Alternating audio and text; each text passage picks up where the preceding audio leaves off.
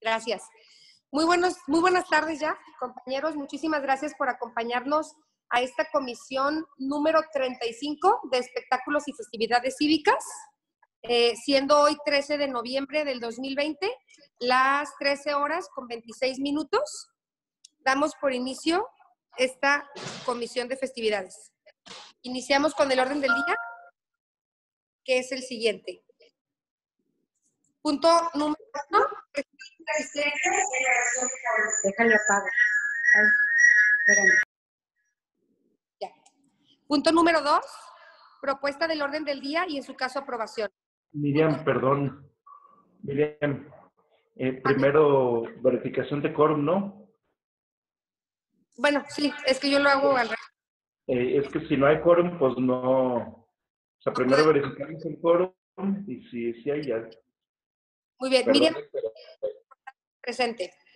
Okay. Rosa Martínez. Gustavo de Jesús Navarro. Presente. Bájale poquito tu volumen, por favor. Luz del Carmen Martín Franco. José Antonio Becerra González. Blanca Estela de la Torre Carvajal. Presente. Y María Concepción Franco Lucio. Presente. ¿Faltó Luis Arturo o no está en la comisión? No está en la comisión, como invité a todos. Ah, es que no lo nombraste. No, ahorita lo saludamos. Estamos siete, perdón, seis de los siete integrantes de la comisión, por lo tanto hay quórum legal y damos uh, paso al siguiente número, que es el punto número dos, propuesta del orden del día y en su caso aprobación. Punto número tres, petición para que se autorice otorgar la concesión para la administración, explotación, comercialización y aprovechamiento de los espacios municipales, palenque y eventos masivos que se encuentren en el interior del Parque Bicentenario para la celebración de la Feria Tepabril 2022 a favor de la empresa denominada Servicios y Negocios Profesionales SADCB. Esto en virtud de la cancelación de la Feria Tepabril 2020 debido a la contingencia sanitaria derivada del COVID-19.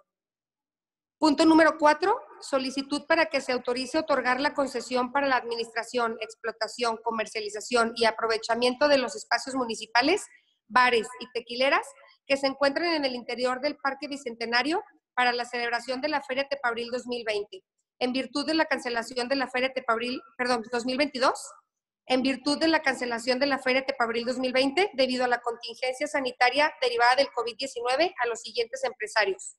Eulogio Maldonado García, Bar La Previa. Locura Alimentaria SADCB, Cocos Locos. Esteban Gutiérrez García, Bar La Parra. Tequila Cuadra SDRL de CB. Tequila Galindo SADCB. Casa San Matías de Jalisco SADCB. Y Destiladora Santa Virginia SADCB. Punto número 5, puntos varios. Y punto número 6, clausura. Quien esté de acuerdo con el orden del día, a favor de levantar su mano. Conchita y Betty. Miriam, ¿no te faltó ahí una tequilera? No, nada más son cuatro tequileras y tres bares. El palenque, ¿no? Ahí no va a entrar Miriam. Es que no lo escuché yo tampoco. El punto número tres fue el del palenque, servicios y negocios uh -huh. profesionales. Ah, con eso. Gracias, Miriam. El punto número cuatro son las tequileras y bares. ¿Sí?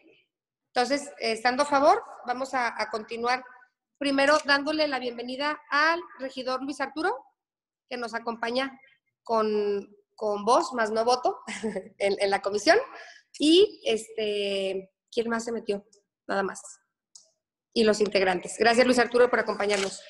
Entonces, vamos al punto número tres y como ya lo platicábamos ayer, les voy a leer cómo quedaría el dictamen para que lo valoremos y lo platiquemos, ¿sale?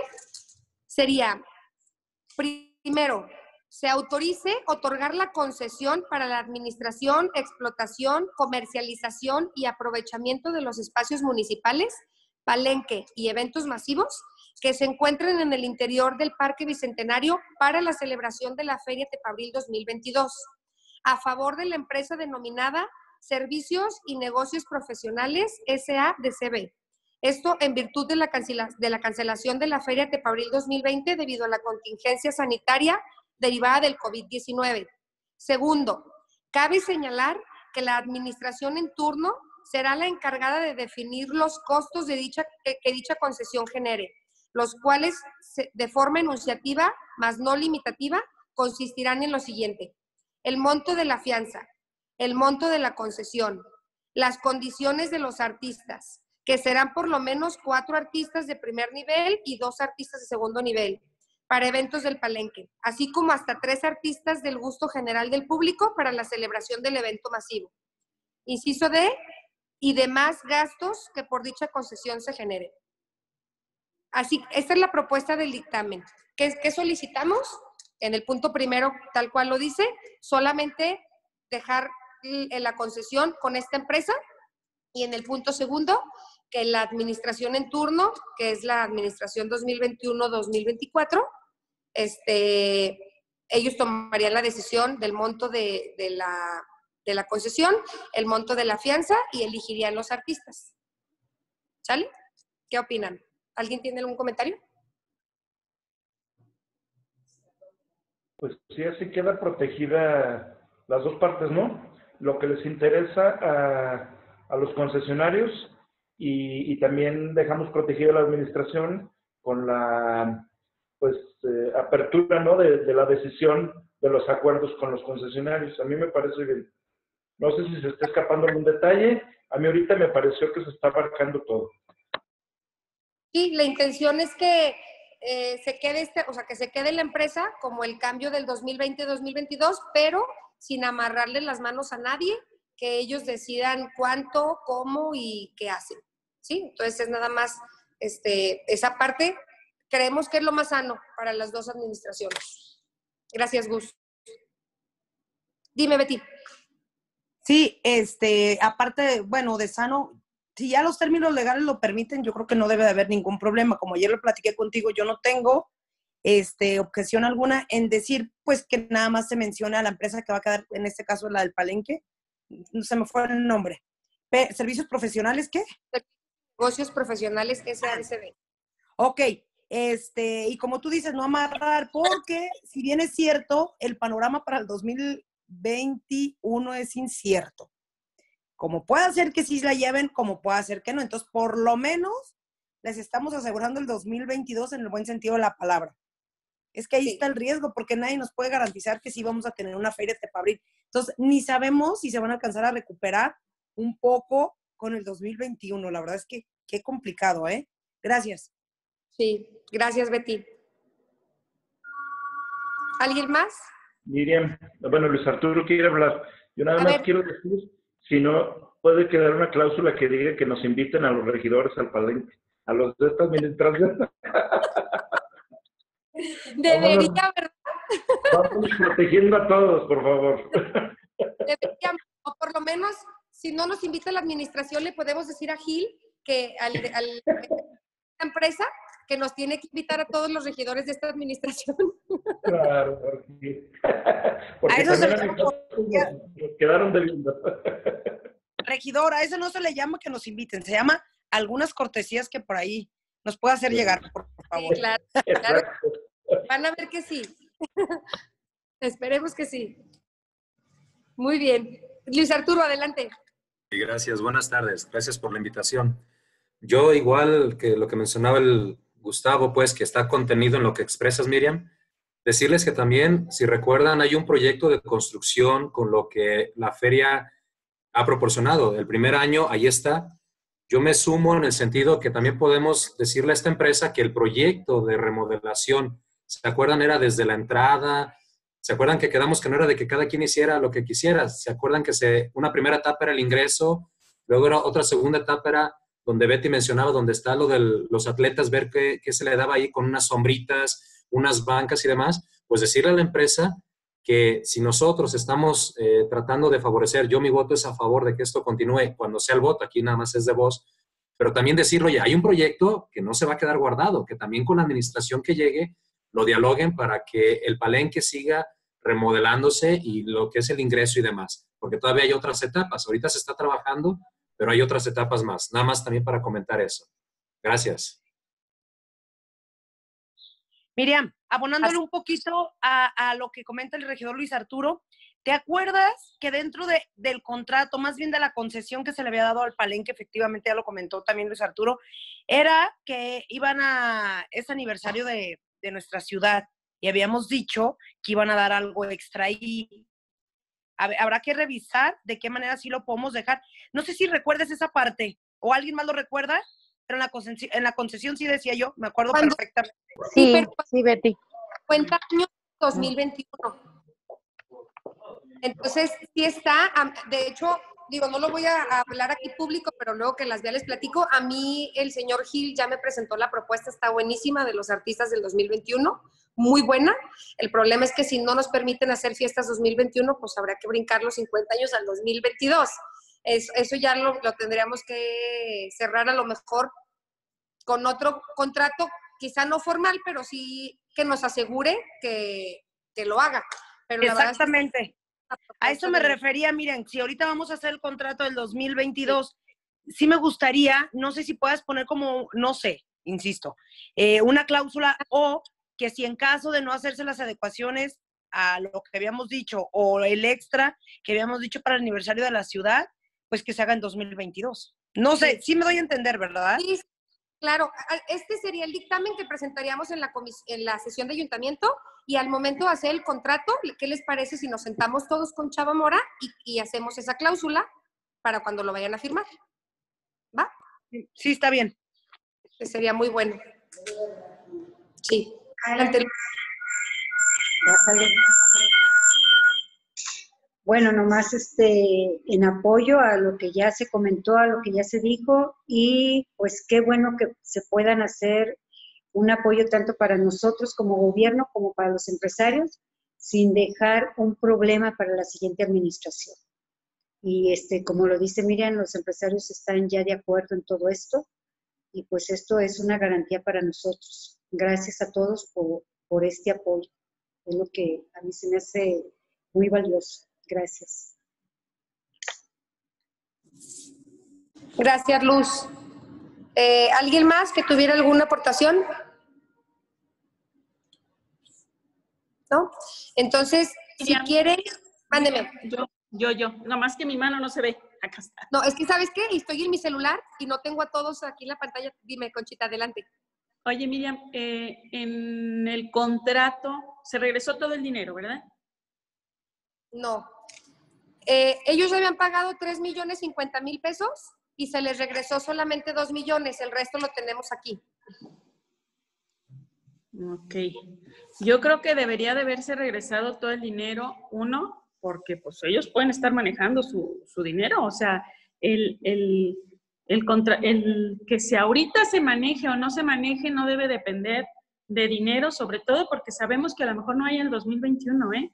Entonces sí debió haberse regresado su totalidad para tener también cuentas sanas en el ayuntamiento.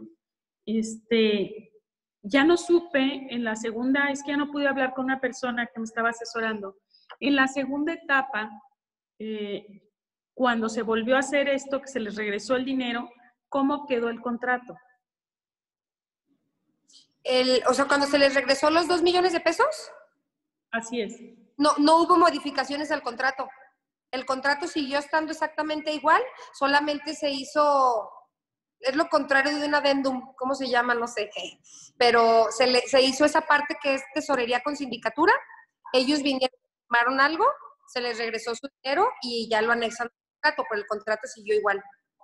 Y en ese, en ese, pues, este, acuerdo que tuvieron, ¿quedó algo? ¿Quedó algo por escrito? Mm, Sí, sí, quedó por escrito que ellos estaban a- a- de acuerdo que se quedara el resto para la feria 2021. Eh, la feria 2021. ¿En el contrato hablaba de la feria 2020-21 cuando lo hicimos? Sí, el contrato fue por dos años. Tú no lo Sí. mandaste en alguna ocasión, ¿verdad? Sí, sí se los mandé. Lo necesitas, se lo pedimos a Chava Mora. Y, y esa clausulita, donde cuando también hubo el acuerdo que se regresa una cantidad y no todo, a mí sí me gustaría mm, que me lo hicieras llegar para poderme asesorar bien y no tener, así como hizo- anteriormente te comenté que me estaban asesorando y cómo, cómo podían ser las cosas, a mí sí me gusta o sea, pedir, como te dije, ¿es legal? Sí, sí es legal. O sea, a mí no me gusta decir, no, eso no es legal, aunque me están diciendo si es legal, que tenía que ser algo trascendental, que es lo que así marca, que Sí, claro. Entonces, sí quisiera tener todos los, todos los factores que implican esto, Sí. vamos a pasar la administración, ¿sí? Entonces, sí me Sí. gustaría que nos compartieras todos los factores que nos pudieran implicar para poderlo dar un voto con toda la certeza Sí. de cómo lo podríamos hacer. Si me hicieras el grandísimo favor. Claro que sí, se hizo, eso de la devolución está en un acuerdo de ayuntamiento donde todos lo aprobamos. Te puedo Ujú. conseguir ahorita con, con Secretaría General para que nos pasen el, el número o te paso el extracto Y- del y acuerdo. co- no, ¿cómo? Es que acuérdate que luego, eh, en alguna ocasión les decía, nosotros aprobamos algo, pero luego cuando hacen el extracto o cuando hacen, aprueban, pero aprueban otras cosas diferentes. Si, si me pudieras conseguir dónde se firmó y qué es lo que se quedó ya en, en el artículo final, ¿sí? Sí, el punto claro final donde firmaron y devolvieron el dinero, ese punto es bien importante para saber nosotros qué es lo que estamos autorizando y si no estamos incurriendo en nada. Sí, claro que sí, Conchita. ¿Sí? Ahorita te lo consigo, sí. Y Ahorita me te hicieras consigo. el favor para todo. así poder tener un voto realmente con toda la certeza del mundo de que no estamos cayendo en algo que pueda ser perjudicial.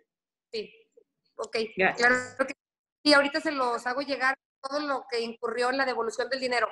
Y no sé Así si es. se acuerdan de esa sesión, yo les, yo les decía que ellos nos solicitaron solamente esa cantidad de dinero porque era lo que necesitaban, que preferían que se quedara lo de aquí y, y porque también Tesorería nos había comentado que ya se había utilizado una parte porque, pues acuérdense que se cayó en marzo, fue un mes antes.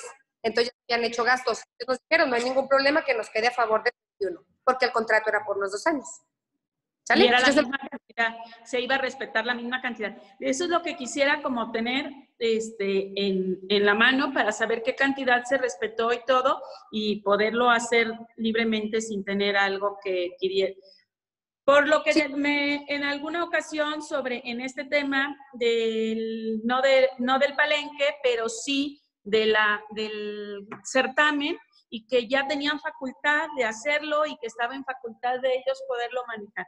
A mí sí, antes de dar un voto, antes ver cuál fue la facultad última que tuvieron y si estamos enterados de todo eso, ¿no? Sí, ahorita sí. Gracias, Miriam. Y No, bueno, ahorita se va a votar este, y, pero es el, el mismo tenor que tengo con, exactamente lo mismo con las tequileras. con las tequileras, así es. Si ustedes recuerdan, las tequileras desde el primer año se hizo un trato y concesión por, Por tres años. por tres años.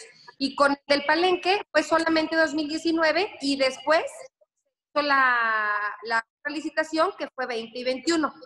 Y ya hay un contrato por los dos años. Y si ustedes se acuerdan, se decidió la cantidad fija. En 2019 le cobramos 2.300.000 pesos. Y ya 2020 y 2021 se les cobró 3.050.000 pesos. ¿Sí? Porque cada año sube, ¿no? Entonces le subimos mucho al 2020 para que ya se quedara igual 20 y 21. Ok, sí, eh, todo eso sí me gustaría revisarlo para saber en qué estábamos cómo estábamos, porque pues no todos los números, la verdad no los traigo ni cuál fue el porcentaje y todo, para poderlo revisar. O sea, nada más sí, y sí, y con alguien que me asesore. Yo la- realmente las cosas legales no, no, este, no las tengo aquí, ni soy abogado, pero sí me gusta antes de hacer algo pedir una opinión. Sí, claro que sí, claro que sí, Conchita. Entonces, este, los hago llegar a todos. Igual y Gracias. trato de mandárselos antes de que les llegue el orden del día para que lo puedan checar. Ahorita Sí, con- eso, eh, eso sí te lo pediría lo más pronto posible, porque por ejemplo hoy, para cuando me hablaste y me dijiste esto va a ser así, este, que, que, que iba a ser la reunión ahora, pues ya no conseguí que esta persona me contestara. ¿Por qué? Pues a lo mejor está ocupado o está en otro lugar o no sé. Pero sí quería pues ya poder saber qué, uno, qué preguntarte exactamente y cuáles serían las dudas o que, o que si está todo bien. Las únicas cosas que se me ocurre que me puedan pedir, porque en su momento me lo, me lo comentó, son estos documentos. Claro que sí. Sí, yo se los Sí. hago llegar. ¿Sale? Gracias, Miriam. Muy bien. Entonces, ¿ya lo habíamos votado o no? No, ¿No? Entonces, quien esté a favor de este punto de que se le deje a servicios y negocios profesionales eh, el- la feria 2022, pero con las reservas de que todas las decisiones de dinero y la- lo que se recibe de dinero quede para la administración 2021-2024. Quien esté a favor, favor de levantar su mano. Uno, dos, tres, cuatro, cinco. Yo me pues- abstengo hasta, la, hasta, el- hasta no tener los documentos. Ok. Cinco. Entonces, cinco a favor y una abstención. Perfecto. Muy bien. Entonces, continuamos con el punto número cuatro, que va exactamente en el sentido, pero hablando de las tequileras, y el dictamen quedaría de la siguiente manera. Se autorice otorgar la concesión para la administración, comercialización y aprovechamiento de los espacios públicos municipales Se cortó, se cortó, Miriam, se cortó un poquito, no seas malita. Repítelo, por favor, porque se cortó y sí quiero escuchar.